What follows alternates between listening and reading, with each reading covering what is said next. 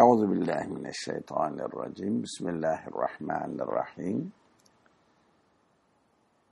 اللهم اهدنا فيمن هديت وعافنا فيمن عافيت وتولنا فيمن توليت وبارك لنا فيما أعطيت وقنا شر ما قضيت. فإنك تقضي ولا يقضى عليك إنه لا يذل من واليت ولا يعز من عاديت. تباركت ربنا وتعاليت. فلك الحمد على ما قضيت. نستغفرك اللهم ونتوب إليك. وصلى الله على محمد وعلى آله وأصحابه وأتباعه أجمعين. والحمد لله رب العالمين. آمين. Bismillahirrahmanirrahim. Sünuhattan okuyoruz. Rüyanın zeyli. Rüya haçta sükut etti. Çünkü haccın ve ondaki hikmetin ihmali musibeti değil, azap ve kahrı celbetti. Cezası da kefaretül zünub değil, yani e, günahların kefareti değil, kesaretül zünub oldu. Günahları çoğaltması oldu diyor. Aa, bunu inşallah birazdan konuşuruz. Neden haçta olduğunu dair. Haccın bahusus taarrufle tevhidi efkarı, teavünle teşriki mesaiyi tazammun eden, içindeki siyaseti aliye-i İslamiye ve maslahatı vasiyayı içtimaiyenin ihmalidir ki, düşmanla, milyonlarla İslam'ı İslam aleyhinde istihdama zemin ihzar etti. Bu kelimelerin en azından kelime anlamlarını vererek bir daha okuyabilir miyiz? Evet. Öz- özellikle haccın bahusus taarrufle tevhid efkarı. Ee, özellikle haçtaki birbirini tanıma ve düşünce birliği teavünle teşrik mesai tazammun eden yani birlikte çalışmayı e, kapsayan içindeki siyaseti aliye-i İslamiye, büyük ali İslami siyaset ve geniş toplumsal yararın ihmalinden dolayı bu haçta olması gerekenin ihmalinden dolayı diyor. Öyle mi? Evet öyle anlaşılıyor. Ki milyonlarla İslam'ı yani İslam'ın içinde olmasına rağmen İslam'ın aleyhinde istihdam olundular. Ve olunmasına zemin hazırlandı. Düş- düşmana zemin hazırlandı. Evet, a, İslam aleyhindeki istihdam ha düşmana zemin hazırlandı. Düşmana yardım edildi yani. İşte Hint düşman zannederek halbuki pederini öldürmüş, başında oturmuş bağırıyor. İşte Tatar, Kafkas öldürülmesine yardım ettiği şahıs biçare valideleri olduğunu Bade Harabil Basra anlıyor. Yani Basra yıkıldıktan sonra demekmiş. Artık çok geç oldu diyor. Ayak ucunda ağlıyor. Bu Hint, e, Tatar, Kafkas galiba bu devletleri kastediyor. O zamanki Başlarına gelenlerden sonra ayıktıklarını mı söylüyor? evet, İşte Arap yanlışlıkla kahraman kardeşini öldürüp hayretinden ağlamayı da bilmiyor. Yani şaşkınlığından ağlayamıyor bile. İşte Afrika biraderini tanımayarak öldürdü, şimdi vaveyla ediyor.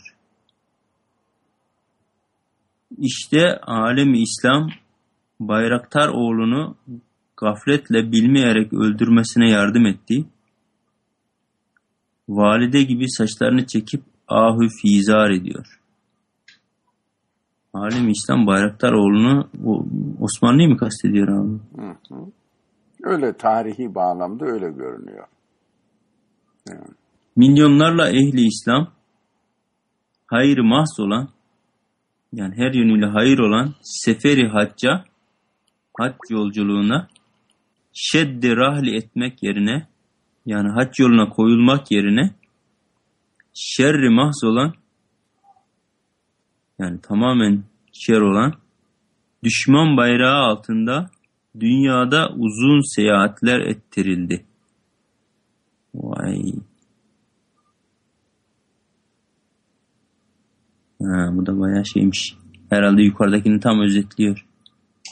Bunlardan ibret alın. Fe, fetebiru. Fatebiru.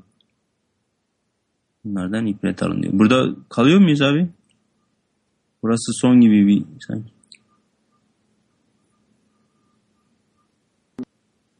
Yoksa devam edeyim mi?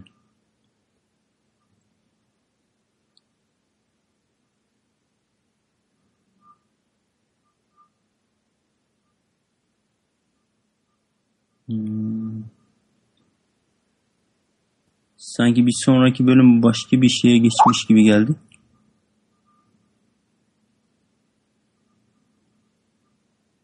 Ha, evet ben de.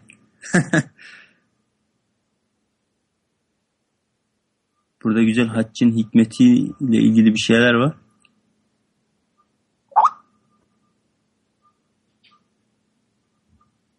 Ha, Osman hocamız da zaten şey diyor. Benim konuşacağım çok şey var diyor. Yalnız benden başka konuşan yok. Dersi ben mi yapacağım şimdi? Tekrar başa geliyoruz. Benim mikrofonum kapalı imiş. E, burada kalalım inşallah. Yusuf be, bence kalalım diyor. Ben bir şey anlamadım diyor. Osman bence e, çok konuşulacak şeyler var diyor. Evet evet Osman ders yapmak istiyormuş abi. Ha, konuşalım Osman buyur. Ben mikrofonu kapatıyorum. Aa, Öyle görünüyor ki çok konuşulacak işler var diyor. Evet, hakikaten yani o zamanın şartlarına göre o zamanın e, coğrafi durumuna göre yapılmış bir tahlil ama bütün zamanlarda geçerli prensipleri anlatıyor. Bütün e, hep mesele neden burada e, rüyada bir hitabedeki e, e, tahlillerini ve ondan sonra rüyada bir hitabenin ikinci bölümünde e, dünyevilerle beraber yapmış olduğu konuşma e, konuşma tahlillerinin tam istenilen, arzu edilen, beklenilen neticeyi vermediğini anlatmak istediği bir bölüm bu galiba. Neden e, olmadı, beklenilen müspet neticeler çıkmadı iyi anlatıyor. Ama önce önce hepimiz bir soralım şu soruyu. Niye durup dururken burada hac meselesini gündeme getirdi? Bu konuda söyleyecekleri olanlar var mı? Yani şimdi durup dururken derken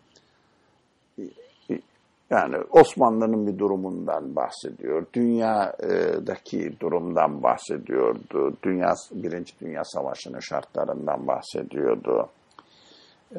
Dünyadaki gruplaşmalardan bahsediyordu. Şimdi yani damdan düşer gibi hac dedi. Ne anlarsınız? Ne söylemek istersiniz? İlhan diyor ki evet ben de ne alaka e, dedim. Ne alakası var şimdi haccın? Herkes harıl harıl hacca gidiyor bugünlerde. Hele hele birazcık cebi para görenler artık soluğu Mekke'de alıyorlar öyle söyleyeyim. Umre'ye gidiyoruz efendim, Umre'ye gidiyoruz diye böyle bir de dönem yaşıyoruz. Bu da bir böyle bir dönem işte gelir geçer her şey gelip geçiyor. Bu da böyle bir gelip geçen bir dönem. Yani, yani moda haline geldi sanki e, Müslümanlar arasında ömreye gitmek. E, öyle gözüküyor. Yani, kimsenin kalbini de bilmeyiz. Neyin için yaptığını da bilemeyiz. Evet sözü olan var mı? Hac ne işi var burada şimdi? Hac, hacca gidip gitmemekle Nursi'nin ne alakası var? Zaten kendisi hacca da falan gitmemiş. Öyle hacca gidecek maddi sorumluluğu olan birisi de değil. Ben e, ne derler fakir fukaradan birisi. Evet. Ben bir şey söylemek isteyen yok mu? Hac neyi temsil eder? Ben, ben sorayım madem. Şahsen sormamı istemezsiniz herhalde. Hac neyi temsil eder? Yani İslam'ın beş emri, temel emrinden bir tanesi hacdır e, denir. Efendim e, namaz onların hepsinin e, es, e, özünü içerir, temelidir. E, dinin direğidir. Hac neyi temsil eder sorusuna Osman vahdeti temsil eder dedi. Ha Murat Yılmaz ittihadı temsil eder dedi. Şimdi ikisi de doğru.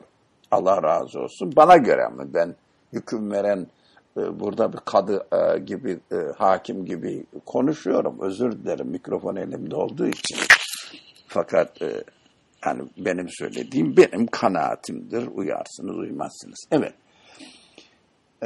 Osman'ın dediği hac e, tevhid, vahdeti temsil eder. Ama bu vahdet bir anlamda kişinin tevhide ulaşması olarak alalım. Bir anlamda da Murat'ın dediği yönüyle alemi İslam'ın tevhidi, birleşmesi, ittifakı olarak alalım. Onun için e, Murat Yılmaz kardeşimizin Allah razı olsun e, güzel bir teklifi var. Hac ittihadı temsil eder. Yani ittihadı yaşamanın aracıdır. Yani e, ittihadı İslam uygulaması e, uygulamaya konulmasının aracıdır. Hacca insanlar giderler. Orada herkes kendi tevhidini yaşar, Rabbini bulur ama herkesin yaşadığı o tevhid bütün alemi İslam'ı alemi İslam'ı bir noktada ittifak ettirecek, bir noktada birleştirecek e, zemin hazırlamış olur. Hem birbirlerini tanımış olurlar, aynı bakarlar ki, görürler ki bizim bilmediğimiz bazı e, kıtalarda bazı insanlar var. Bu insanlar Müslüman olduklarını söylüyorlar. Adetleri farklı falan ama bak buraya geldiler. Onlar da benim gibi Allahu Ekber diyorlar. Lebbeyk Allahümme lebbeyk diyorlar. İşte çağırdın geldik diyorlar. Aynı, aynı ilaha tabi oluyorlar. Bunu görüp o kişilere göğsümüzü açmak, o kişileri kucaklamak vesilesi olacak.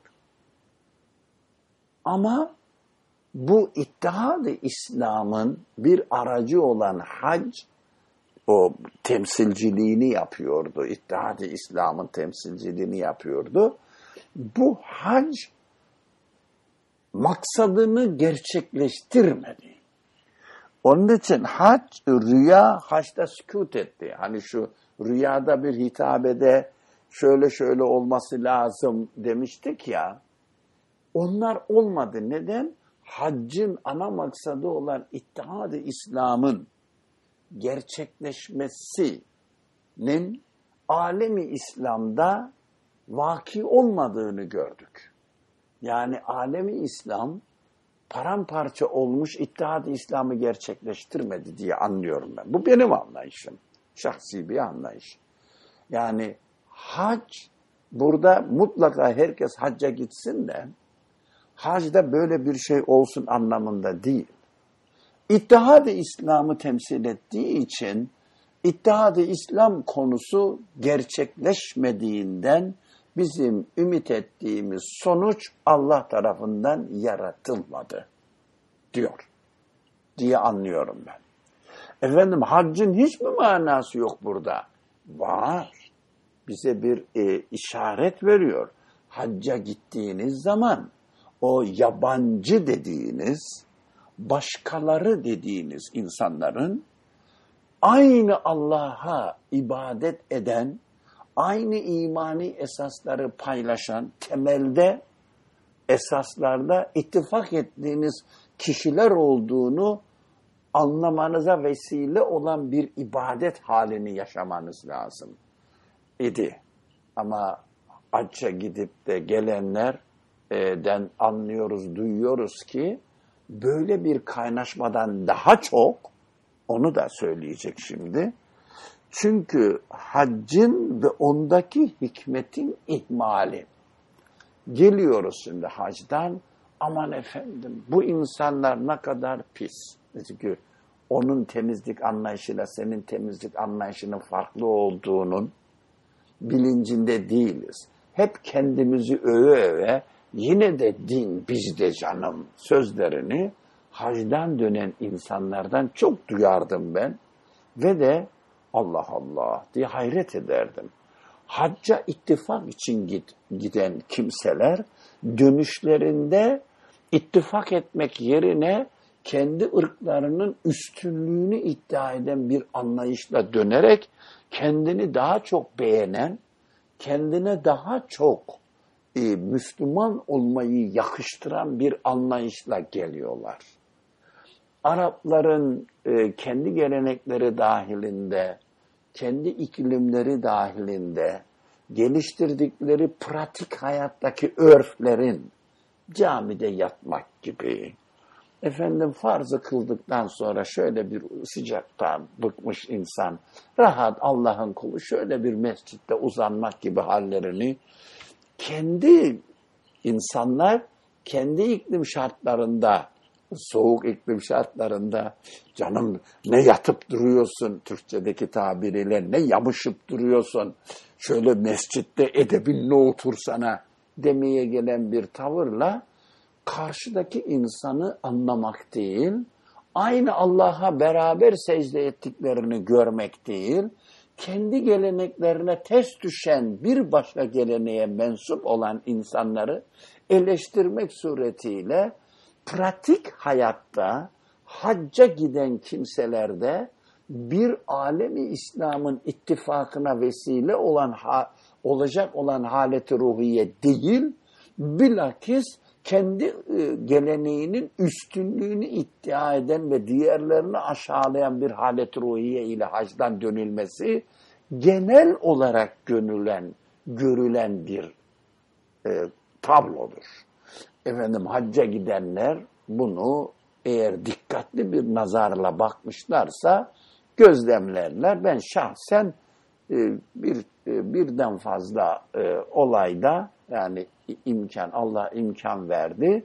Bunu bizzat gözlemledim. Yani ispat edemem. Benim gözlemimin sonucunda insanların çoğunda tevhid değil bir tefrika vesilesi olarak kullanıldığını ya da icra ettiğini gördüm haccın. Nedeni haccın kendinde değil. Hacca gidenlerin niçin hacca gittiklerinin bilincinde olmadıkları, haccın ma maksadı nedir, maslahatı nedir eğitiminden geçmeden hacca gittikleri için. Yani tevhid eğitimi görmeden hacca giden insanlar param var hacca gidiyorum'a indirgedikleri için böyle mukaddes, muhteşem, hakikaten bütün dünyayı ilgilendiren bir ibadeti param var gidiyorum'a giderim, paramı ödeyebilirim giderime döndürdükleri için e, Allah böyle bir tembelliğe ceza olarak o hacdan bereket değil, tekdir, ceza alma, yani cezalandırma. Buradaki tabiriyle e, hem haccın e, hem de ondaki hikmetin ihmali diyor. Bak rüyada ha- e, rüya hacda sükut etti, düştü. Yani gerçekleşmedi. İttihad meselesi uygulanamadı da onun için. Çünkü haccın ve ondaki hikmetin ihmali. Bir hac ihmal edildi. Yani gerçekten hac yapma, hac ibadetini gerçekleştirme ihmal edildi. İnsanlar İttihad-ı İslam'ı amaçlayan faaliyetlerde geri kaldılar. Kendilerini yetiştirmediler ve hacdaki hikmetin ihmali. Hacca gidenler de yahu döndükleri zaman ya kardeşim siz Endonezyalıları, Pakistanlıları, Malezyalıları, e, Bangladeşlileri, Çinlileri, Asyalıları, Afrikalıları ka- Araptır, karadır, pistir, düzensizdir, yaftaları altında sevmediğinizi, Arap'ın e, Arap'ın ismini köpeklere verdiğinizi yutturdular bize. Köpeklerin ismini Arap, Arap, Arap dedirttiler. Değil mi? Ve anlaşılmaz konulara Arap saçı ismi verdirttiler. Arap saçı gibi karmaşık. Kim demiş Arap saçının karmaşık olduğunu? Senin saçın düzgün, onlarınki kıvırcık diye neden karmaşık anlaşılmaz problemlere at takıyorsun Arap saçını? Değil mi? Arap'ın e, ne derler Arap'ın bilmem nesi ona olsun diye bir söz var. Neydi hatırla, hatırlayan varsa söylesin. Aşağılayıcı. Anladıysam Araplayın. Ha anladıysam Arap olayım. Bir de tamam o da güzel bir şey ben. Anladıysam Arap olayım diye. Hakaret amiz cümleler. Ar- Arapların e, Arap'ın bilmem nesi ona olsun diye bir, bir e, ifade daha vardı hatırlayan varsa. E, yani aşağılayıcı ifadelerle e, milliyetçilik ve ırkçılık kendini beğenme geleneğini üstün görme. Yani tevhidi üstün görme değil, Kur'an'ı üstün görme değil. Kendisinin coğrafi, iklimsel şartlarından dolayı geliştirdiği gelenekler normaldir. Ben böyle giyerim, öbürü öyle giyer. Ben böyle yerim, öbürü öyle yer. Birisi şurada yatar, birisi burada yatar. Yani e, herkesin kendi iklim şartlarına göre sıcak olursa e, biraz ince elbise giyersin. Soğuk olursa kalın elbise giyersin. E, daha da soğuk olursa titremeye başlarsın. Çok sıcak olursa e, terlemeye başlarsın. Allah böyle yaratıyor ki yaratıcımız böyle yaratıyor. Birisi titrerken öbürü terleyince ya kardeşim terlemenin zamanı mı denmez ki. Senin şartların farklı, onun şartların farklı. Allah'ın dini herkesin kendi şartlarında tevhidi yaşamasını e, öngören bir din olduğunu anlamadık. Herkes kendi şartlarında tevhidi yaşıyor olduğunu hacda görecektik. Hacca gittiğimiz zaman bakın işte bu beğenmediğiniz Araplar var ya, beğenmediğiniz Afrikalı kara kara insanlar, kendilerine elleri, derileri kara yaratıldığı için pis zannettiğin kimseler var ya, Araplar, biz, e, Türkler, şunu da söyleyeyim, Türkler buğday ben e, e, renklidir. Araplar beyaz ırktır. Onu tutup da biz Arap deyince hep e, aklımıza siyah, pis gel, e, imajı verildi bize.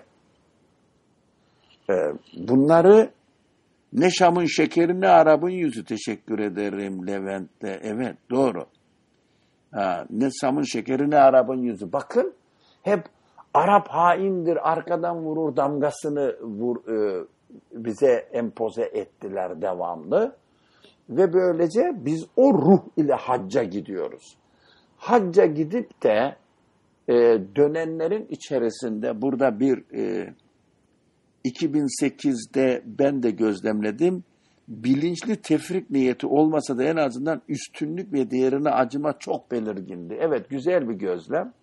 E, ben de aynı şekilde tabi tefrik ya tefrika çıkaracağım diye kimse yapmıyor ama hacca hazırlanan, hazırlanacak e, bir aşamadan geçmeden hacca gidince tevhid eğitimi almadan hacca gidenler tevhidi, ittihadı İslam'ı te, tesis etmek yerine ittihadı İslam'ı tahrip ederek dönmek zorunda kalıyorlar. Onun için aman efendim param var hacca gideyim demek yerine tevhid eğitimini şöyle ya da böyle tamamladım. Şimdi hacca gidebilirim diyene Allah para da veriyor, imkan da veriyor gidersiniz.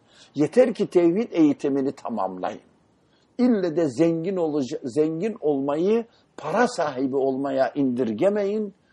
Hacca her türlü e, parası olmayan da gider. Bu e, sabit. Yeter ki sen kendini hazırla. Ben te, hacca gidecek kıvama geldim de korkma. Onun için de, evet Osman diyor ki tevhid yoksa vahdet de yoktur. Yani tevhidin olmadığı yerde vahdet dahi olmaz. Çok güzel bir söz. Onun için hacca gidenler dönüşte gelip de o sizin beğenmediğiniz milletler, diğer ırklar var ya, diğer e, kavimler var ya, işte onların hepsi aynı Allah'a ibadet ediyorlar. Aynı Allah huzurunda secde ettiler. Aynı Allah'ın e, evi olarak temsil edilen Beytül, e, Beytü, Beytullah diye anılan Kabe etrafında tavaf ediyorlardı. Bizimle aynıymışlar. Neden aşağılıyoruz ki diye hacdan dönüp gelenlerden e, bu sesleri çok az duyuyoruz eğer hiç değilse. Çok az. Çoğunluk demek ki hac ihmal edildi. Evet turistik olarak Mekke şehrine gidiliyor da Medine şehrine gidiliyor da hala kendi bayrağını göğsüne takarak gidiliyor. Ben senden değilim demeye gelen bayrağını göğsüne takarak götürüyorlar seni hacca. Bu bunun bilincinde olmadan gittiğinizde hacda evet o zaman tefrikacı olarak tevhide ulaşmadan dönmek zorundasınız. Çünkü duanız öyleydi. Bayrağınızla gittiniz. Tevhidinizle gitmediniz. Buna çok dikkat etmek lazım. Çok dikkat etmek lazım. Bunların hepsi kasıtlı manevralardır, tuzaklardır. İttihad-ı İslam'ı engelleyen tuzaklardır. Bunu yapanlar Müslüman olabilirler. Cehaletlerinden, gafletlerinden, haccın ne anlama geldiğini anlayacak bir tevhid eğitiminden geçmiş olmamalarından dolayı iyi niyetli de olsalar art niyetli olma, ol, olmasalar da yine sonuç itibariyle tevhidi değil tefrikayı netice verecek olan bir ibadet denmez ona artık turistik seyahat tertipleniyor. Onun için hac ihmal edildi. Aman olur mu canım? 1929 yılında 19 yılında yazılan bir eserde e, veya artık 1919'dan 20 olabilir Rüyanın Zeyl'in ne zaman yazıldığını katı olarak bilmiyorum. Elimde delilim de yok ama e, bayağı e, yakın zamanlarda yani 1919'a yakın tarihlerde olması lazım. 1920 yıllarında hacca gidenler ile gidenlerin sayısı ile 2013 yılında gidenlerin sayısı arasında milyonlar fark var. Şimdi e, eskiden o bin kişi, on bin kişi ne bileyim bilemiyorum gider miydi, gitmez miydi hiç elimde detay yok ve ilgilenmiyorum da. Ama şimdi yüz binlerce insan gidiyor artık. Ha, daha çok hacca gidiliyor. Hayır efendim. Tevhid eğitimini almadan hacca giden hacca gitmez. Mekke'ye turistik seyahate gider. Ama kim bunlar bilmem. Kimseyi itham edemem ta, tarif gereği konuşuyorum. Tevhid eğitimi aldığınız kadar hacca gidersiniz. Tevhid eğitimi almadan İslam'ın vahdetini sağlayamazsınız. Alemi İslam'ın birliğini, beraberini, ittihadını sağlayamazsınız. Onun için aman sakın ola ki hacca gitmek için para toplamaya kalkmayın. Kalkmayalım. Hacca gitmek için tevhid toplamaya bakalım. Tevhidde eğitimimizi tamamladığımız zaman para işin en kolay tarafıdır. ben slogan haline getirdiğim bir cümle vardı. Onu tekrar burada sizlerle paylaşayım. Parası olan hacca gitmez. Parası olan Mekke'ye turistik seyahate gider. Ya haccın manasının özünde yatan ittihadı İslam'ı anlama hazırlığı yapmış olan hacca gider. O kişi parası olmasa da gider. Yani gitmek zorunda değil fıkhen ama olmasa da gider. Birisinin yerine gider, otostop yapar gider, bir şeyleri yapar gider. Hiç korkmayın şimdi otostop yapılmıyor ama e, yine karayoluyla yaparsınız efendim. Suriye'ye gidersiniz oradan biliyorsunuz onlar hep e, sınırlarda ne olup bitiyor. E, hani halledersiniz meselenizi. Çok ucuza getirerek hacca gidebilirsiniz. Birazcık e, e, yani maceralı olur fark etmez. E, macerada hacca giderken iyidir. evet yani Allah'a tevekkül etmenin e, tatbikatını yapmış olursunuz. Peki efendim bu detay çok detaylı olan girişten sonra ki önemliydi. Hac çok önemli bir ibadettir. Hac çok önemli bir ibadettir. Hakikaten hakikaten o tekbirlerin getirilmesiyle ifadesini bulan e, ubudiyeti kübrayı temsil eder. Ama dikkat edin. Mekke'de bulunmak ubudiyeti kübrayı temsil etmez. Hac ibadetini ifa etmek ubudiyeti kübrayı temsil eder. Yusuf Amerika'da yaşıyoruz. Her milletin adamının bir adamının bir araya geldiği camide haç provası yapıyoruz o zaman. Ee, olabilir, evet. Ee, yani küçük küçük bir cemaat. Yani cemaatleri sayarken Nursi'de zaten önce kendi ailende yaptığın cemaat ondan sonra birlikte namaz kıldığın cemaat. Biliyorsunuz İyyâke na'budu'yu anladırken na'budunun nunu yani biz yalnızca sana ibadet ederiz derken biz ile ne kastedildiğini anlatan biz kelimesinin neyi içerdiğini anlatan tefsirinde önce birlikte evinde ailenle kıldığın namazda bizi kastedersin. Önce kendi duygularını kastedersin. Sonra aileni kastedersin. Sonra beraber namaz kıldığın camideki insanları kastedersin. Ondan sonra beraber cuma namazı kıldığın, bayram namazı kıldığın ve en sonunda da hacda beraber Rabbine lebbeyk dediğin çağırdın geldim ya Rab dediğin halde o nabudunun nununu yaşarsın. Bu anlamda Yusuf'un dediği çok değişik e, iklimlerden, geleneklerden gelmiş olan insanların değişik alışkanlıklarıyla birlikte bir camide toplanması Amerika'da eğer Türk camisi, Afganlı camisi, Pakistanlı camisi, Hindistanlı camisi, Bangladeşli camisi, Mısırlı camisi, Filistinli camisi ayrımı yapılmamışsa ve açık bir cami ise, herkesin gelebildiği Müslümanların camisi ise bekliyoruz. İnşallah böyle camiler olur. O zaman herkesin geldiği o camide küçük bir haç provası yaparsınız. Fakat Afganlıların camisinde Afgan kültürü hakim, Türklerin camisinde Türk kültürü hakim ve Türk bayrağı hakim olursa e, işte orada böyle bir provayı yapamazsınız. Nabudunun nunu yalnızca belli bir ırka mensup olanları içerir. O da İslamiyet'e aykırı olduğu için kimseyi içermez. Yani ırka mensubiyetle nabudu diyemezsiniz. Çünkü ırka mensubiyeti ön plana almayı İslam temelden reddetmiştir. İslam'ın temelden reddettiği bir şeyi nabudunun içine sokamazsınız. O zaman dikkat etmek lazım. Yani bir mesela Mısırlıların camisine gidiliyor. Nabudu'dan maksat biz Mısırlılar oluyorsa çünkü Mısırlıların camisindeysek işte orada nabudu boşta kalıyor. İçi boş kalıyor. E, bu tariftir. İnsanların kalbini, niyetini, Sen oraya gidersin, bir temiz zemin vardır. Burada namaz kılayım diye gitmişsin. Senin niyetinden nabududan maksat Mısırlı falan değildir. Türk camisine gittin, Türk falan kesinlikle değil.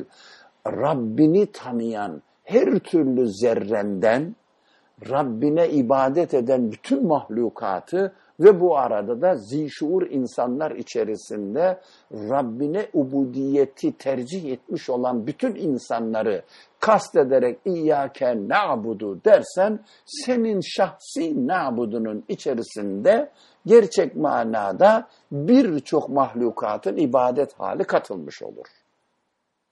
Ama e, böyle bir e, tevhid eğitiminden geçmeyen insanın da ne aklından, ne kalbinden, ne hislerinden, ne abudunun içinde ne var olduğu geçmez. Ama kim bu insan bilmiyoruz. Biz e, prensiplere dikkat ediyoruz, prensiplere bakıyoruz. Demek ki böyle bir anlayışla bir camide e, küçük etrafımızda değişik insanların bulunduğu bir camide nabuduyu caminin cemaatinin hepsine birden katabiliyorsak yalnızca Türkleri, Arapları değil veya insanlar hangi ırktansa bizim kültürümüze mensup olanlar değil, ibadet, Rabbe ibadet eden herkesi hangi haliyle ibadet ederse etsin, benim sevmediğim bir şekilde de olabilir elbisesi benim bilmediğim, tanımadığım bir tarzda da olabilir. Elini, ayağını benim bilmediğim bir şekilde tutuyor, yapıyor, ediyor da olabilir. Ama Rabbim karşısında ibadet ediyorsa buna gönlümüz razı olarak onu eleştirmeden nabudu, iyyaken nabudu diyebiliyorsak işte bu anlayış hacca gittiği zaman bütün Kabe'nin etrafına gelmiş Rabbe secde eden insanları kapsar. Yoksa hani e, belli resmi kurumlar fotoğraf çeksin, film çeksin de te- televizyonlarda program yapalım diye gönderdikleri e, ekipler var ya, e, program ekipleri onun gibi gitmiş oluruz. Yani o ekiplere gidenler mutlaka böyledir demiyorum haşa. Onun içerisinde bu bahaneyle evet, bir tevhid anlayışını gerçekten dünya çapında gerçek e, uygulayabilecekleri bir imkan için giden olabilir. Ama bir de hani teknik sorumlu olarak haccın maccın ne olduğu değil bir vazife verildi gideceğim paramı alacağım kardeşim diyen bir insanın hali gibi olur. İşte param vardı e, bu param ile Mekke'ye, Cidde'ye, Cidde'den de Mekke'ye gidebileceğim, oradaki otel paramı da ödeyebilecek durumunda durumdayım diye giden bir insan e, haccın manasını gerçekleştiremez. Yani o kim o kimse zaten Arapsa Arap camiinde, Afganlı ise Afganlı camiinde, Türkse Türk camiinden başka yerde de namaz kılamaz. Rahatsız olur. Gidemez. Mesela Türkler belli bir yemek yer. Fakat Afganlılar da ve Pakistanlılar da biraz acılı biberli yerler. Onun için Afganlıların camisinde yedikleri yemeğin kaçınılmaz sonucu olan o yemeğin kokusu hakimdir. E Türklerin bulunduğu camide de Türklerin yediği yemeğin kokusu hakimdir. Türkler kendi kokularına, kendi yemek kokularına alışkın oldukları için burunlarına çarpmaz. Yani o zaten alıştığı bir kokudur. Onun için zanneder ki ben kokmuyorum. Pakistanlılar kokar der. Pakistanlıların camisine gidemez. Onlarla beraber aynı Rabbin huzuruna e, huzurunda secde edemez. Bu insan hacca gitse ne yapacak ki? İttifak değil, ittihat değil, ihtilaf ile dönecektir. Para, para ile hacca gidilmez tevhid ile hacca gidilir. Tevhidin bizzat fiiliyata konulma ihtiyacı kalpte hasıl olursa o hal ile hacca gidilir. Bunu çok güzel anlamamız lazım. İnşallah. Onun için de tevhid eğitimi şart. Evet. Metne dönüyorum. Çünkü haccın ve ondaki hikmetin ihmali. Demek ki hac ihmal edildi. Yüz binlerce kişi hacca gidiyor. 2-3 milyon insan Kabe'de toplandı. bilmem sayı önemli değil. Tevhidi uygulamak için gelenlerin oluşturduğu manevi hava önemlidir. Evet, bak yok demiyorum. Var ama ne kadarsa o kadar. İnşallah var. Haccın ve ondaki hikmetin ihmali musibeti değil, gazap ve kahrı celbetti. Ha, Allahu Ekber. Yalnız bir musibet gelmedi bunun yüzünden başımıza. Ya gazabı ilahi, kahrı ilahi geldi. Ya çok önemliymiş demek ki. Yani hem hacca gidersiniz hem de gazab-ı ilahiye layık olarak dönersiniz. Mümkün mü? Mümkün. Allahu Ekber. Çok uyanmak lazım. İbadetlerin veya bu dini ritüellerin ubudiyete bakan yönünün yani imani boyutlarının ihmali kahrı celbedebiliyor. Ben bundan titriyorum arkadaş. Hem namaz kılıyorum hem de yanımdakinin kıldığı namazı eleştiriyorum. Ne biçim kılıyor ya ellerini sallıyor lan sen sokakta salak salak mı sollan, e, dolandığını zannediyorsun. Allah'ın huzurundasın ellerini bağla salat diyen insana. E kardeşim İmam Malik bağlama demiş. Ebu Hanife bağla demiş. Resulullah'ın uygulamasından iki ayrı netice çıkmış. Her ikisi de Resulullah'a tabi oluyor. Sen kim oluyorsun? Demiyor insan kendine. Ona ters ters bakıp karaz gidiyor mümin kardeşine. E bu kahrı değil de mümin kardeşine garaz duyguları besleyen ilahi kahrı değil de neyi celbedecekti? Ya kendimizden başkasını beğenmeme hallerimizin altında tevhid eğitiminin noksanlığı yatar. Rabbe secde etmeye gelmiş ama yediği yemeğin kokusu benim için yabancı olabilir. Onu bu adam böyle yemek yeme alışıyor. Onun memleketinde yetiştiği yerde bu şekildeki kokan yemekler var. Benim yetiştiğim yerde de bendeki kokan yemekler var. Belki aynı kişi bana sen de değişik kokuyorsun diyebilir. Bunu çok duyduğum için söylüyorum. Afganlıların, Pakistanlıların, Bangladeşlilerin camisine giremiyorlar. Böyle yüzlerce, binlerce örneğini görüyoruz. Kafadan atmıyorum.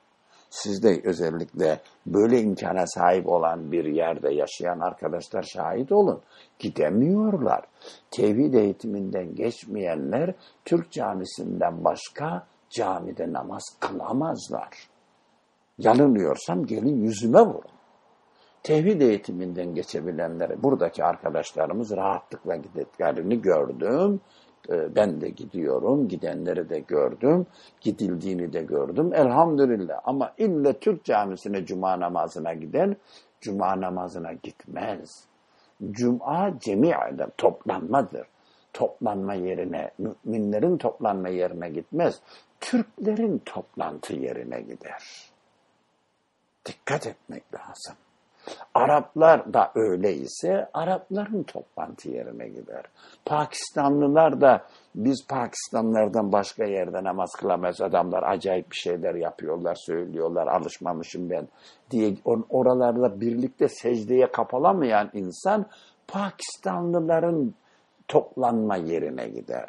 Müminlerin camisine gidemez. Dikkat edelim. Bunlar önemli unsurlar. Hatta bak musibeti değil, gazap ve kahrı celbetti vurgusu hepimizi titretmesi lazım. Beni titretiyor. Yusuf diyor ki Pakistan yemek kokusunu sevmek zorunda değilim ki başka seçeneğim varsa kokusunu sevdiğim bir camiye giderim. Bu gayet normal değil mi?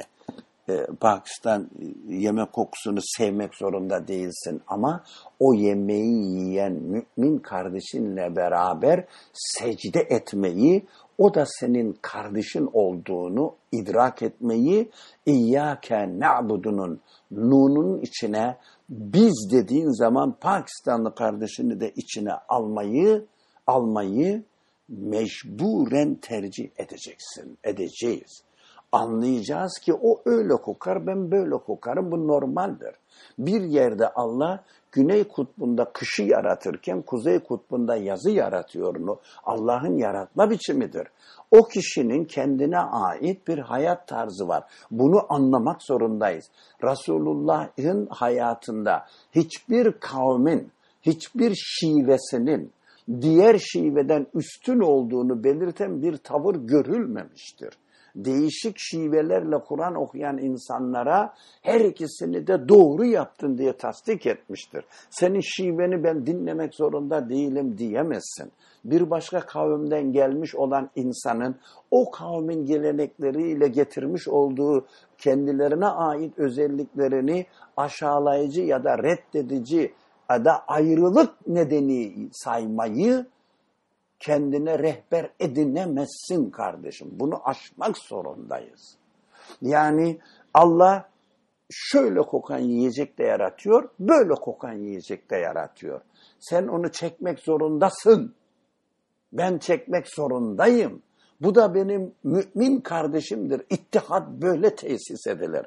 Eğer Pakistanlılar Türklerin şu şekilde davranışlarını çekmek zorunda değilim diye ayrı cami yaparlar. Türkler de Pakistanlıların kokusunu çekmek zorunda değilim diye Türk camisi yaparlarsa orası müminlerin camisi değil Pakistanlıların camisi olur, Türklerin camisi olur ve Nabudunun içerisine Pakistanlılar girer, Türkler girer ve fakat ibadet etmekte ırk esas olmadığı için Nabudunun içi boş kalır.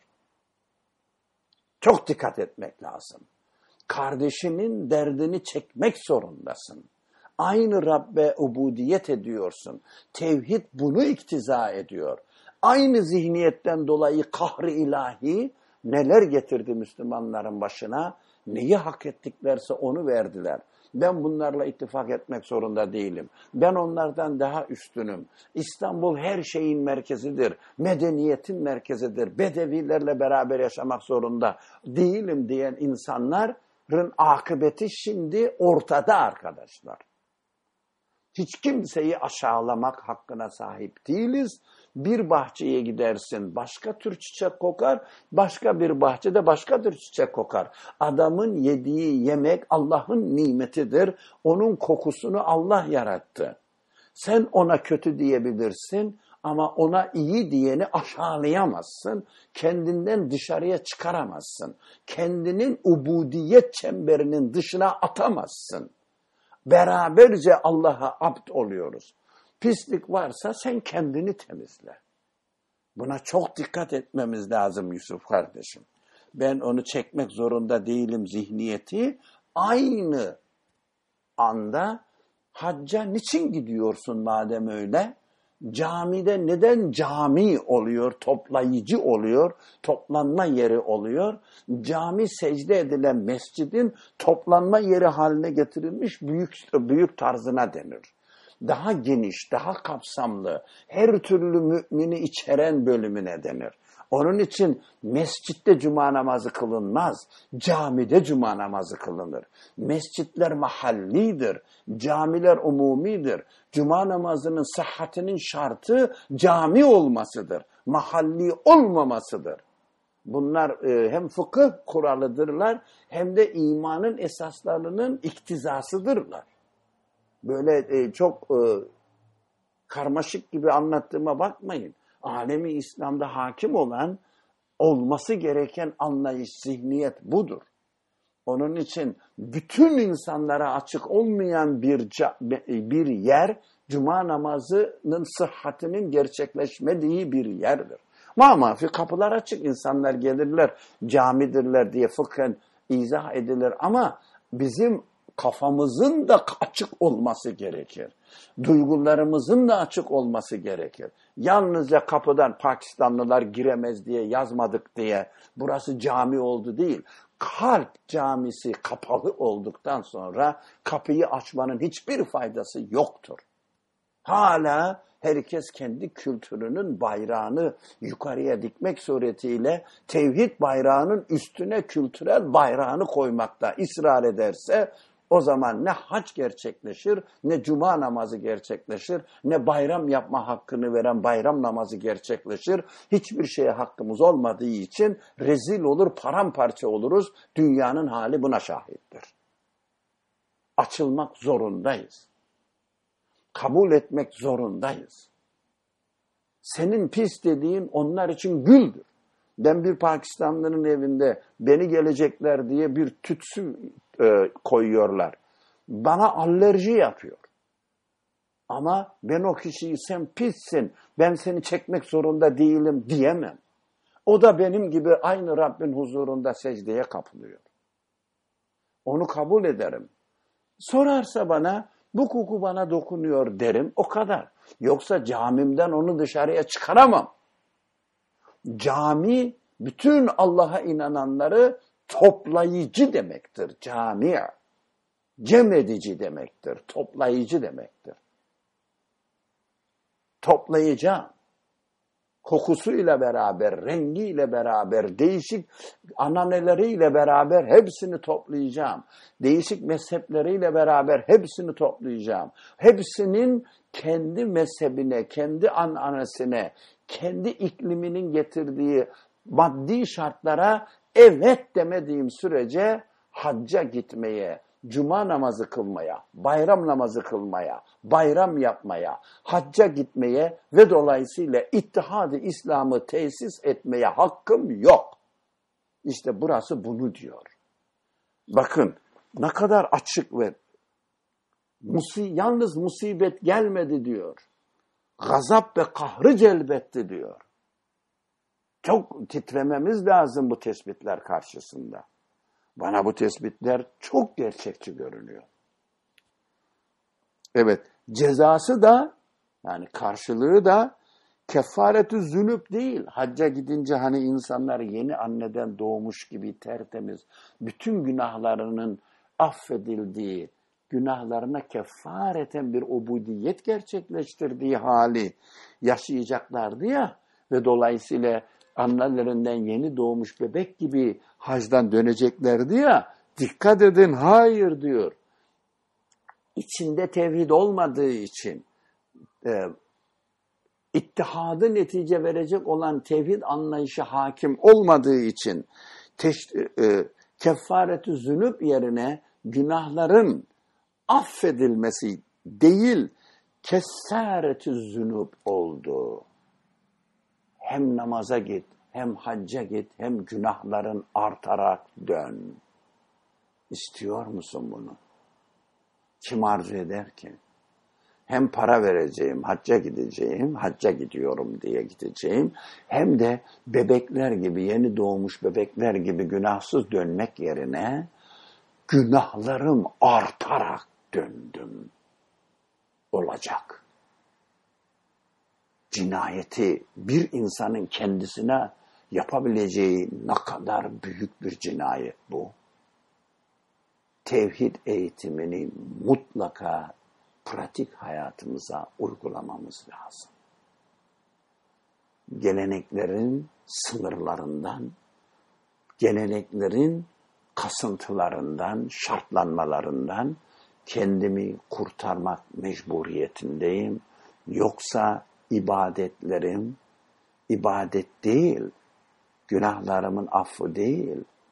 Hem ibadet ediyor gibi zannediyorum hem de günahlarımı artırarak dönüyorum. Cinayet bu. Bir insanın kendisini yapabileceği en büyük kötülük bu. Ben Allah'a, hepimiz burada Allah'a sığınıyoruz inşallah. Böyle bir sonuçla karşı karşıya kalmaktan. Haccın bahusuz taarrufle tevhidi efkarı yani birbirine tanışarak fikirlerin ittifakını, tevhidini, birleşmesini, aynı düşünceler etrafında ittifak etme vesilesi olarak kullanılması, ta taavünle teşriki mesaiyi tazammun eden, taavünle yani birbirlerine yardımlaşarak, Bak ben böyle uyguluyorum, bak ben böyle anladım. Senin bir ihtiyacın var mı? Benim şöyle imkanlarım var, sana vereyim mi? Senin şöyle bir imkanın var mı? Benim ihtiyacım var, bana verebilir misin gibi birbirine yardımlaşma vesilesi olması lazım gelirken teşriki mesaiyi, sayilerin, gayretlerin, çalışmaların, emeklerin paylaşılması vesilesi olmayı tazammun eden içindeki siyaseti aliyeyi İslamiye daha önce söyledi. Yüce, müsbet, İslami siyaset. Biz ona ne dedik? Müsbet siyasete hikmet dairesinde hareket etmek dedik. İşte bu içindeki bu mukaddes, muazzam İslami hikmeti, hikmeti, hikmet ve maslahatı vasıtayı, vas, vasıayı içtimaiyenin ihmalidir ki bu içtimai çok geniş, çok kapsamlı, bütün Allah'a inananları içeren bir maslahat. Bütün Allah'a inananlar, gelin Allah'a inananlar, birlikte tek Allah'a ibadet edelim. Gelin o Allah karşısında secdeye kapılalım demeyi gerektiren hali ihmal ettiğimiz içindir ki düşmana düşmana neden kahrı ve gazabı celbettiğini anlatıyor. Düşmana milyonlarla İslam'ı İslam aleyhinde istihdama zemin ihzar etti. İslam'ı İslam aleyhinde görevlendirdi düşman. Yani Müslümana Müslümanı Müslümanı Müslümana vurdurttu. Neden? Kendi gafletimizden, ihmalimizden, e, ha, haccın ya da hac misilli ibadetlerin, camideki ibadetler, cemaatle kılınan namazlar, cuma namazları, bayram namazlarının ana esprisinin ihmalinden dolayı esas bu namaz neden böyle kılınıyor cuma namazı? Neden kılınıyor? Müminlerin ittifakını sağlamak için kılınıyordu. Bunlar ihmal edildi. Çok çok çok derin meseleler bu meseleler. Bunlar. Onun için bu gibi ibadetlerin içerisindeki buradaki siyaseti aliyeyi İslamiye dedi diye haccın siyaseti bir politika aracı olarak kullanılır diye günlük politikaya indirgememek e, indirgememeye çok dikkat edelim. Siyaseti İslamiye daha önceki anlatımlarında müsbet siyaset olarak anlatıldı. Müsbet siyaset demek de ihtiyaca, karşındakinin ihtiyacına, ihtiyacını gözetlemek suretiyle o kişiyle ilişki kuracağım. Yani karşımdaki kişi acılı biberlerden veya değişik e, e, baharatlardan oluşan yemek yiyor da eğer o yemek yediği yemeklerden dolayı belli bir koku saçıyorsa o kişinin kültürü olduğunu bilerek o kişiyi aç ayıplamayacağım. Haram yememiş ki adam. içki içmemiş ki adam. Değil mi efendim? Mesela soğan sarımsak yediğin zaman ağzın kokar değil mi? Resulullah camiye gitme diyor. E bu herkesin ittifak ettiği bir şey. Ama her türlü e, baharatta bir koku vardır. Senin senin baharatında da sana ait bir koku vardır. E, bunları da reddediyor anlamında kimse hiçbir şey yemesin mi diyece- diyeceğiz. Demek ki o kişi böyle olsa bile yani camiye sa- sarımsak kokusuyla gelse bile o kişinin anlayabileceği, kavrayabileceği bir şekilde ona muhatap olmak müsbet siyasettir. Yani hikmet dairesinde karşı tarafa muhatap olmam gerekir. Sen niye bu camiye geldin diye kovmam hakkına sahip değilim. Ama gelmesin, başkasını rahatsız etmesin. Evet, herkesin e, rahatsız olacağı bir konuysa, konuysa. Ama Pakistanlılar öyle yemek yiyorlar ki yedikleri yemekten hiç kimse kendi kültürlerinde, kendi geleneklerinde rahatsız olmuyor. E, o zaman o kişinin o haline benim Eğer alışkın değilsem katlanmayı öğrenmem lazım. Ona hikmet dairesinde kardeşliğimizi, ittihadımızı, ittifakımızı, e, tevhidimizi paylaşabilmem lazım. Onunla konuşabilmem lazım. Yok e, o kişi başka tür konuşuyor diye, başka tür kokuyor, başka baharatları yiyorlar, benim alışkın olmadığım baharatları yiyorlar diye onların camisine gitmemek, onlarla muhatap olmamak hiçbir surette bizim tevhid anlayışımızın haklı göreceği bir davranış olmamalıdır. Olmamalıdır. Evet. Efendim, düşmana milyonlarla İslam'ı, Müslümanları İslam aleyhinde istihdama, İslam aleyhinde görevlendirmeye zemin hazır, ihzar etti, hazırladı. Yani değişik geleneklerden gelen, ırklardan gelen kişileri, kavimlerden gelen kişileri birbirine kırdırttılar. Birbirine vurdurttular. Hatay senin olacak, benim olacak diye kaç bin insan öldü. Şurası benim olacak, Halep senin olacak, benim olacak diye kaç bin Müslüman öldü. Benim senin diyenler ırkçıydılar. Allah için demediler.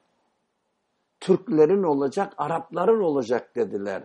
Allah'ın mülkünü Türklere, Araplara böldüler. Allah'ın mülkünü Allah'ın kullarına dağıtmayı engellediler. Ondan sonra da Araplara sorarsan Türkler hançerle arkadan vurdu Arapları. Türklere sorarsan Araplar Türkleri hançerle vurdu diye Arap-Türk kavgası başlattılar. Kimin yönetiminde olması beni hiç ilgilendirmiyor. Allah'a ibadet ediyor olup olmaması ilgilendiriyor.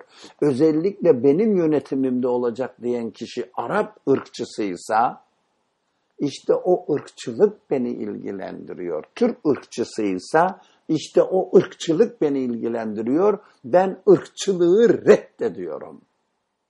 Şu toprağın nerede olduğu ben, toprakta insanlar yaşar. İnsanlar ya Rablerini tanırlar ya tanımazlar. Çok iyi, dikkatli, rikkatli, hassas bir şekilde düşünmem lazım. İşte bizim aramıza şu toprak bizim, şu toprak senin, şu sınır benim, şu sınır senin diye Müslümanları birbirine kırdıklar. Yalnızca Türkiye, Suriye, Irak sınırında olmadı bu olay. Suriye ile Irak arasında, Irak'la Kuveyt arasında, Kuveyt ile Arap Emirat arasında, Arap Emirat'la Kuveyt, Suudi Arabistan arasında, Yemen'le Suudi Arabistan arasında, Yemen'le Oman arasında, e, e, Oman'la Suudi Arabistan arasında, e, İran'la Afganlar arasında, İran'la Iraklılar arasında hep bu savaş yaşanmıyor mu? Türkler iyi, İranlılar kötü. İranlılara göre Türkler kötü, İranlılar iyi. Bütün bozgunluğun, bütün fitnenin kaynağı ırkçılıktır, milliyetçiliktir. Onun için İslam milliyetinde ittifak etmeyenler menfi milliyetçidirler. Müsbet milliyet İslam milliyetidir. Hazreti İbrahim'in tevhid dinine tabi olmaktır. Yoksa ırkçılığın müsbet tarafı var anlamında bir yorum kaçamak haince yapılmış bir yorumdur. Beyinleri çelmek için yapılmış bir yorumdur. Pisliğin hiçbir tarafı temiz olmaz. Irkçılık İslamiyet'in, kavimcilik İslamiyet'in, Allah'ın dininin bu insanlara getirdiği mesajın en ana maksatlarından bir tanesi ırkçılığın, kavmiyetçiliğin ortadan kaldırılmasıdır. Bunu anlamayan insan tevhidin ne olduğunu anlamaz. Irkçılıktan vazgeçmeyen bir kafa, müsbet milliyeti biz işte ırkçılığı müsbet anlamda kullanırız diyen bir kafa, hiçbir zaman tevhidin sosyal hayatta uygulamasını gerçekleştiremez. Bunlara bu bunlar benim kanaatim. Bunları e, madem Ben konuşuyorum, kanaatimi söylüyorum.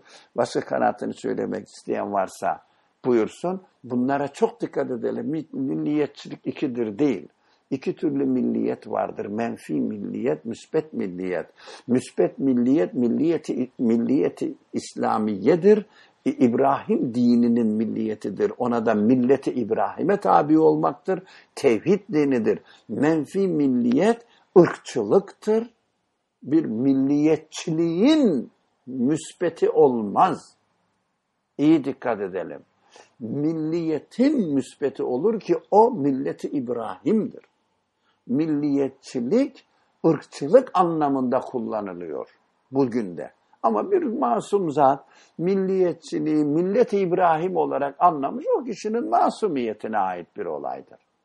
Ama gerçekten bir sosyal, politik kavram olarak kullandığımızda İslamiyet milliyetçiliği ki bu menfi milliyettir ortadan kaldırmak için gelmiş bir dindir. Bir iki esası var ırkçılığı ortadan kaldırır, ataların dinini taklit etmeyi ortadan kaldırır. Böylece tevhidi tes- tesis eder İslamiyet. Ataların dinini ortadan kaldırmayan, milliyetçiliği ortadan kaldırmayan tevhidi tesis edemez. Çünkü taban tabana zıt iki sosyal kavramdır bunlar. Evet şimdi e, uygulamada o zaman ne olduğunu anlatıyor. İşte Hint düşman zannederek halbuki pederini öldürmüş başında oturmuş bağırıyor. O zamanın tarihi şartlarında Hintler babası durumunda olan, pederi durumunda olan bir başka milleti öldürmek için savaşmışlar. Kendi aralarında ama Müslümanlar. Müslüman ama başka ırklara mensup. Şimdi ah ne yaptım ben diye ağlıyor ama babanı öldürdün. Yani kendi babası durumunda olan. Kim bunlar? Bana ne kim olursa olsun. Yani tarihte olmuş bir olay. Demek ki ben dikkat edeceğim. Mümin olan kardeşimi Allah'a iman eden, aynı Allah huzurunda secdeye kapılan bir kardeşimi benim ırkımdan değil, benim coğrafyamda kalan bir insan değil, kokusu şöyle, rengi böyle, alışkanlıkları böyle bahanesiyle onlara muhalefet etmeyeceğim. Aynı Allah'a secde ettiğimi anladığım anda Allahu Ekber diyerek namaza başladığı anda ama Allahu Ekber derken elini kaldırmış ama kaldırmamış, kulağının memesine değdirmiş ama değdirmemiş. Bunlar benim sorunum değil. Allahu Ekber demesi benim meselemdir. Bu detay iştihat farklılıklarından dolayı birbirimize yabancılaşmayacağımız gibi iklimlerin farklılıklarından dolayı yaş yaşam tarzlarının farklılıklarından dolayı İslam'ın uygulamasında takip ettikleri farklı mezheplerden dolayı birbirimizden yabancılaşmayacağız. Bunları ayrımcı özellikler olarak görmeyeceğiz. Bilakis Allahu Ekber denildiği noktada ittifak edeceğiz. Haccın en önemli sloganı nedir? Allahu Ekber'dir. Çünkü hac Arafat'tır. Arafat'ta Allahu Ekber sesi duyulur. Bu Allahu Ekber bayrağının altında toplananlar yani o simge olarak bayrak diyorum. Allahu Ekber ilanatının altında toplananlar haccı ifa ederler. Arap bayrağının, Suriye bayrağının, Irak bayrağının, Venezuela bayrağının, e, Endonezya bayrağının, Türk bayrağının, İran bayrağının altında toplananlar Allahu Ekber diyemezler. Çünkü sembol olarak kendilerine Allahu Ekber değil, ırk, memleket, ülke, ulus devlet bayraklarını rehber edinmişlerdir. Çok dikkat edin, çok dikkat edelim. Üzerinde Türk bayrağı olan, üzerinde Pakistan bayrağı olan e, elbiseler, şemsiyeler hacda çok yaygındır. Fitne kaynağıdır kalplerin yumuşamasına, insanların kaynaşmasına engel oluyor. Hangi Pakistanlı kendi çadırını kaybettiği için haç tecrübesi olanlara soruyorum. Bir Pakistanlı var ki Pakistan bayrağını kaybetmiş, Pakistanlı olduğunu da unutmuş. Mümkün değil. Ama işte tarih bu bize getirilen bahane. Yolunu kaybetmiş, grubunu kaybetmiş, otelini kaybetmiş. Mesela Türklerin kaldığı bir ok otelde kendini bulmuş. Hangi Türk bu insana bu insana sen Pakistanlısın diye sokağa atar ki? Neden hacda kaybolmaktan korkma bahanesiyle insanları ırksal, ulusal devlet bayrakları altında topluyorlar? Kaybolsan ne olur ki?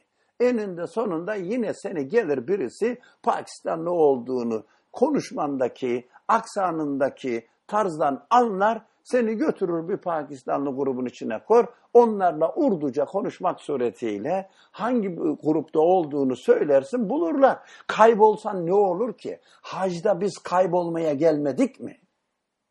Kendi ırkımızdan, kendi geleneklerimizden, kendi alışkanlıklarımızdan, kendi mezhebimizden çıkıp kaybolmak, erimeye gelmedik mi İslam toplumunun içerisinde? Kaybolmaktan neden korkuyorsun? Kandırıyorlar bizi. İlle de ulus devlet anlayışını hacda dahi hakim kılmak için kasıtlı olarak seni de beni de kandırıyorlar. Uyanmak lazım. Kayboldum ne oldu ki? Herkes sana bedava yemek verir. Hiç hacda olup da aç kalan oldu mu?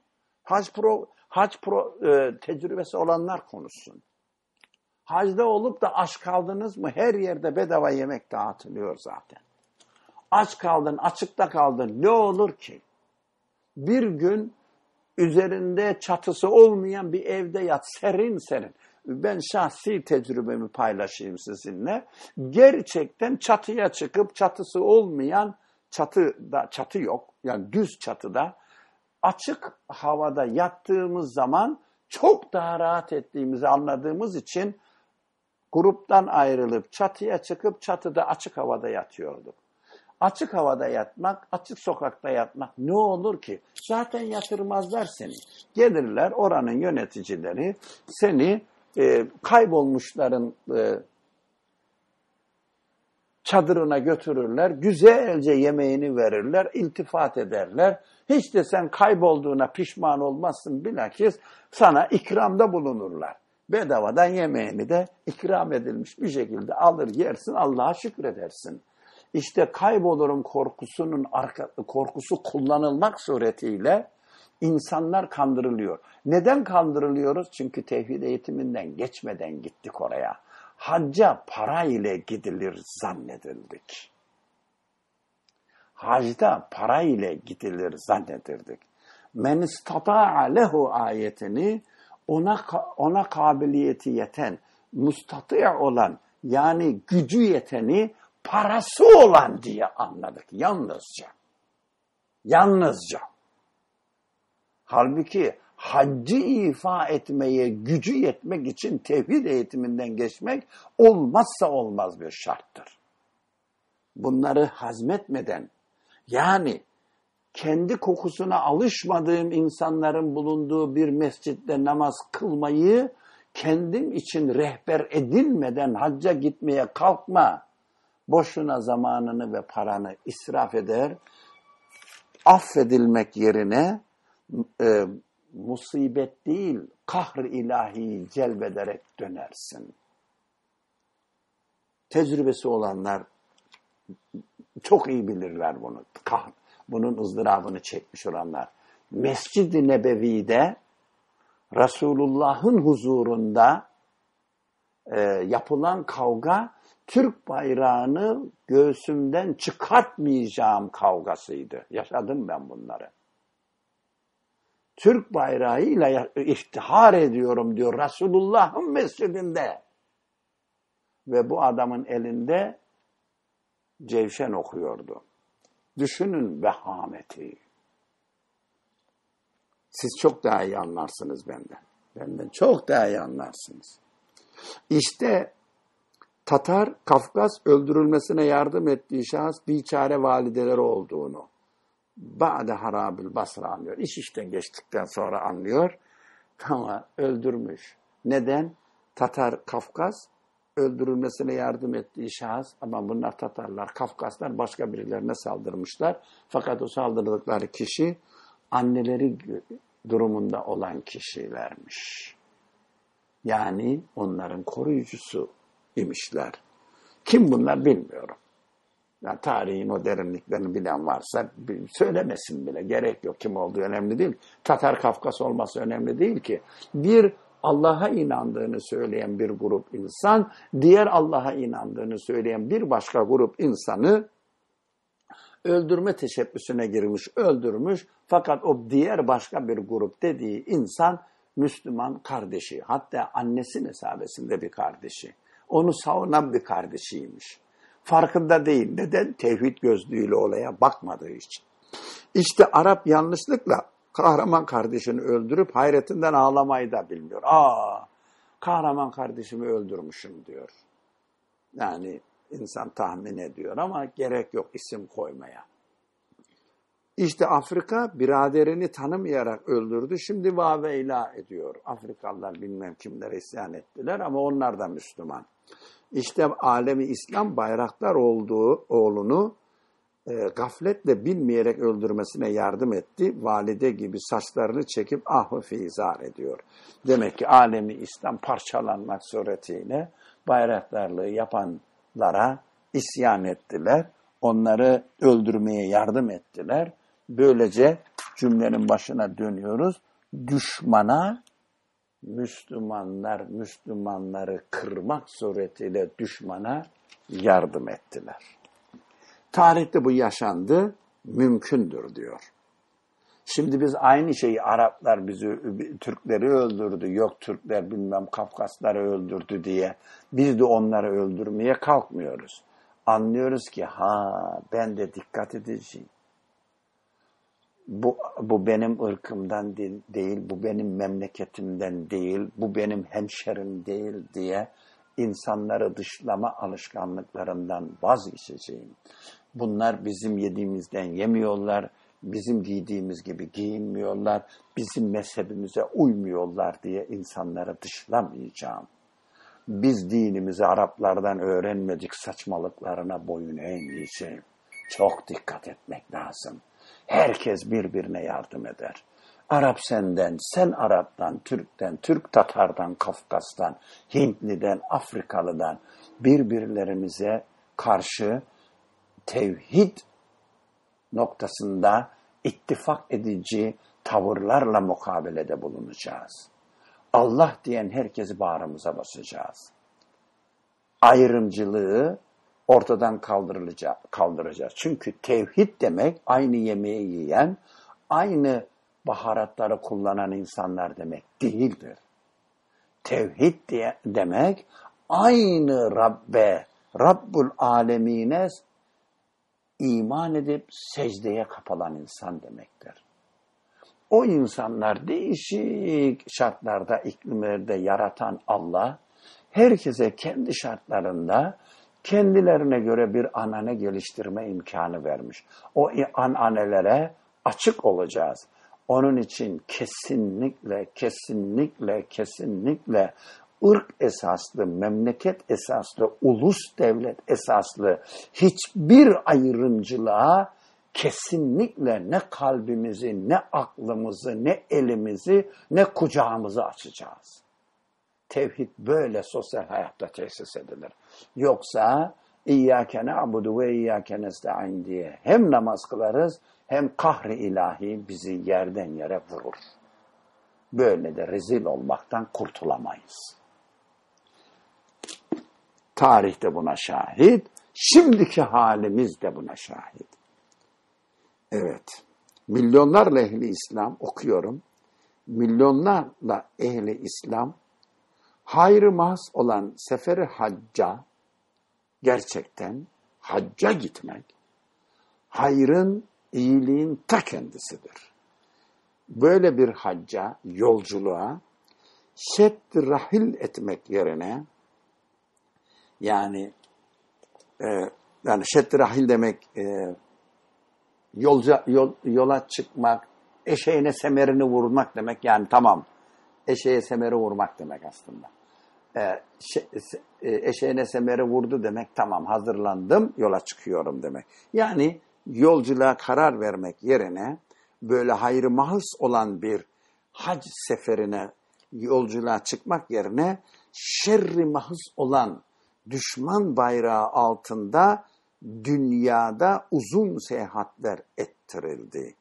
Yani her millet kendi milliyetçilik duygularını galeyana getirmek, ileriye sürmek suretiyle dünyada hakim olan milliyetçilik cereyanlarına alet oldular. Parçalanmak zorunda kaldılar. Hala da öyle. Kucaklayamıyorum. Çok değişik hatıralar aklıma e, geliyor ama Muhammed Said şöyle bir şey yazmış. Şimdi pratik örnekler verdiğim zaman çok acı neticeler çıkacak diye korkuyorum. Tahammülü güç. Kültürünü kaybetmeme kaygısından bahsedilir. Bu korkuya da konuşulanlar çerçevesinde anlar oldu. Bu korkuyu da konuşulanlar evet kültürünü kaybetme ne kültürüyse kaybetme şey, anlar oldum. Tevhidi koruma kaygısı hiç yok içinde. Korkmayın abi anlatın diye. yok yok yok. Yok yok yok yok. Çok ağır, çok ağır, çok ağır. yok. İnsanlar insanlar e, her zaman art niyetli e, yani çoğu zaman art niyetli değiller. Çok az insan art niyetlidir. Fakat art niyetli olmamak yetmez. Bakın art niyetli olmamak yetmez. İnkar etmemek yetmez. İman etmek lazım. Yani iyi niyetli o art niyetli değilim ben. İyi niyetliyim. İyi niyetliysen tevhidin senin dünyana ne getirdiğini anlamak zorundasın kardeşim. Madem iyi niyetlisin. Eğer tevhidin senin dünyana neyi getirdiğini yani pratik hayatta tevhid sana neyi kazandırdığını konuşmayacaksan, anlama çalışması yapmayacaksan o zaman tevhidi niye kendine benimsediğini sor ve tevhidde ne anladığını sor. Tevhid yani bir tek Allah'ın huzurunda secdeye kapılıp onun dışında hiçbir şeyi ilah kabul etmemek senin ırkını da, kültürünü de, aileni de, kabileni de, ulus devletini de, memleketin dediğim yeri de, her şeyi de tek bir Rabbe izafe edersin. Annem benim Rabbimin kuludur. Benim ailem bu Rabbimin bana ihsan ettiği bir nimettir. Buradaki etrafımda bulunan köydeki insanlar benim köylülerim de, aynı köyden olan kişiler de kainatın Rabbinin bana ihsan ettiği ikramdır. Ama ulus devlete gelince hayır.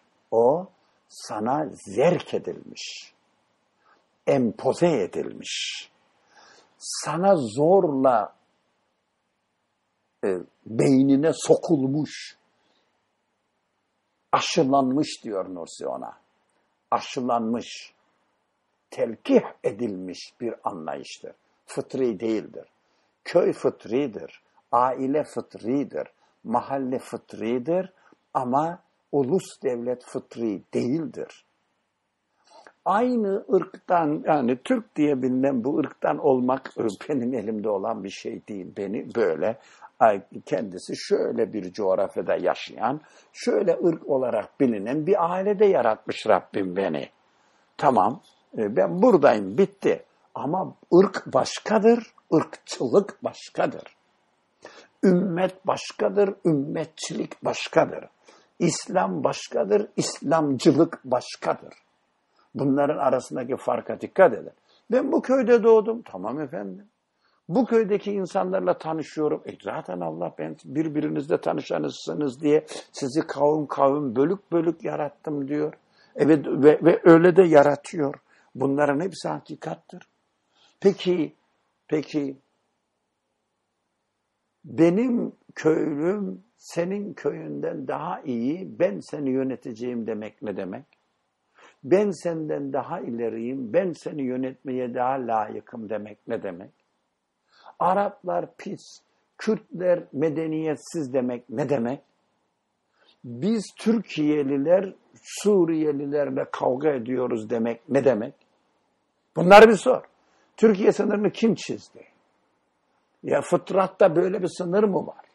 Hatay ile Halep arasında ne fark var? Hatay ile Kilis arasında, Halep ile Kilis arasında ne fark var?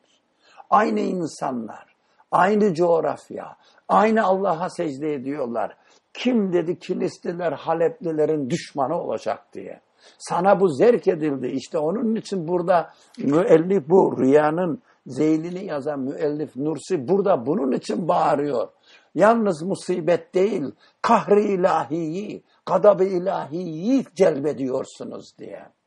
Günahlarınızın affedilmesi için gittiğiniz hacdan günahlarınız çoğalarak dönüyorsunuz diye.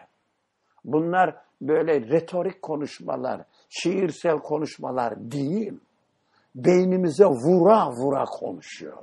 Kendine gel, uyan diyor.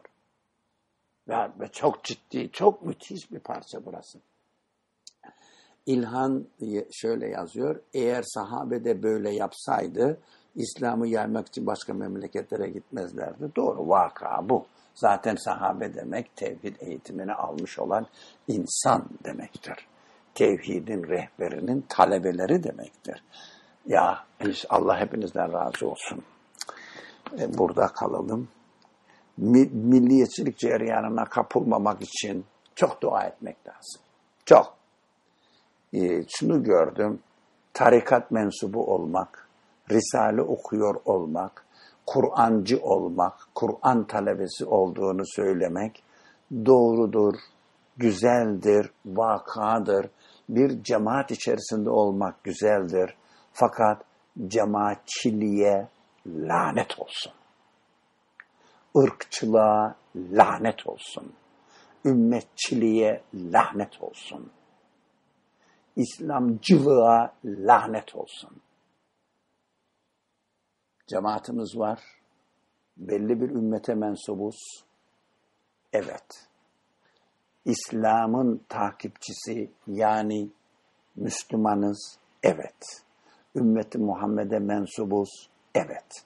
Belli bir coğrafyada yaşamışız, doğmuşuz. Aramızda Erzurumlular var. Erzurum'da doğmuş adam. Evet Allah öyle yaratmış. Erzurum diye bir yer yaratmış. Orada bir anne baba yaratmış. O anne babadan böyle bir çocuk yaratmış. Adamın suçu ne?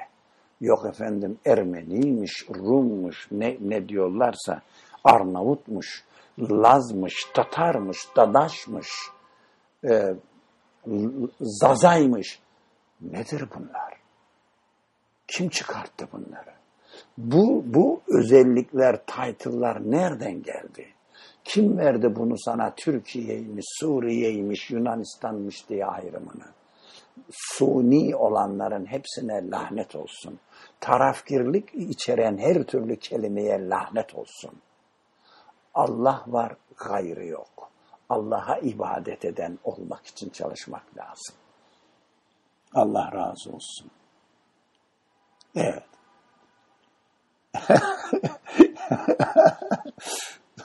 Erzurum'da doğmuş suçu adamın. Erzurumlu olmak suç değil, ayrıcalıktır diye şaka yapıyor Osman.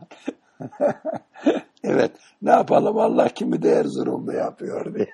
Evet, herkes sevdiği arkadaşı şaka yapıyor. Güzel. Evet, ben Erzurum'da doğdum. Olabilir efendim. Hiçbir şey ifade eder mi? Erzurum'da doğdum. Erzurum kültüründe büyümüşüm. Oradaki insanların yediğini yiyor, içtiğini içiyor. Onlar insanların şivesini konuşuyorum. E Allah böyle yaratmış. Bu bir farklılık, ayrıcalık mı ifade eder? Ayrıcalık olarak kullanılmalı mıdır? İşte bu noktada çok hassas olacağız. Çok hassas olacağız. Bismillahirrahmanirrahim. Sizden başka e, katılmak isteyenler buyursunlar. Yoksa ben susuyorum. Peki yine hala söyleyebilirsiniz. İstedikleriniz varsa Bismillahirrahmanirrahim. Subhaneke la ilme lena illa ma allamtena inneke entel alimul hakim ve ahir davahum elhamdülillahi rabbil alemin. El Fatiha.